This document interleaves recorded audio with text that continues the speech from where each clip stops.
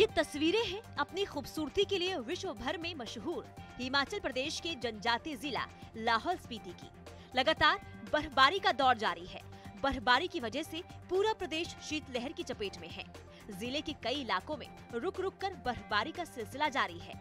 बर्फबारी की वजह से लाहौल स्पीति बर्फ़ से ढक गई है, जिसकी वजह से सड़कों पर फिसलन का खतरा भी बढ़ गया है। घाटी में देर रात बर्फबारी होने से समूचा इलाका बर्फ़ की सफ़ेद चादर से ढक गया है। वहीं अभी भी घाटी में बर्फबारी और बारिश की संभावना बनी हुई है। मौसम के बदले मिजाज के कारण तापमान में भी ज़बरदस्त गिरावट दर्ज की जा रही है। वहीं प्रदेश के निचले जिलों में जमकर बारिश हो रही है, जिससे गर्मी में भी ठंड का एहसास हो रहा है। वहीं लोगों का कहना है कि बारिश और बर्फबारी कुछ फ़सलों के लिए काफ़ी अच्छी है।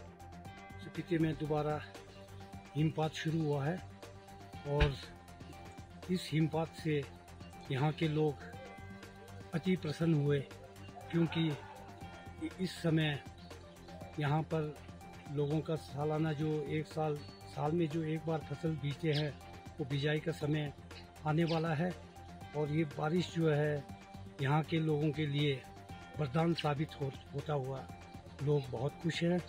तो आने वाले समय में भी बीच बीच में यूँ ही बारिश पड़ती रहे तो यहाँ के लोग, बागवान और कृषि जो हमारे लोग हैं, वो अति प्रसन्न है। इससे सारे हमारे लाहौल स्पीति में जितने भी हमारे जिम्मेदार हैं, बागवान हैं, वो बहुत खुश हैं। लोग अभी भी गर्मियों का एहसास नहीं कर पा रहे हैं। इस मौसम से किसानों की खेती बाड़ी में भी असर देखने को मिल रहा है। कई इलाकों में बिजाई का समय निकला जा रहा है तो वहीं कुछ किसानों को फ़सल खराब होने की चिंता सता रही है। आजकल ये जो लगातार बारिश हो रही है, इस लगातार बारिश से जहाँ पे ट्रांसप्लांटिंग जो भी फूल गोभी है ब्रोकली है या अन्य चीज़ आइसवर्ग है, जिसकी भी ट्रांसप्लांटिंग हुई है वहाँ पे जैसे ही बारिश कम होती है, बारिश कम होने पे वहाँ पे आपने एक एम एल पर लीटर के हिसाब से बेबस्टीन का स्प्रे करना है जिससे कि किसी प्रकार की बीमारी से फ़सलों को बचाया जा सके।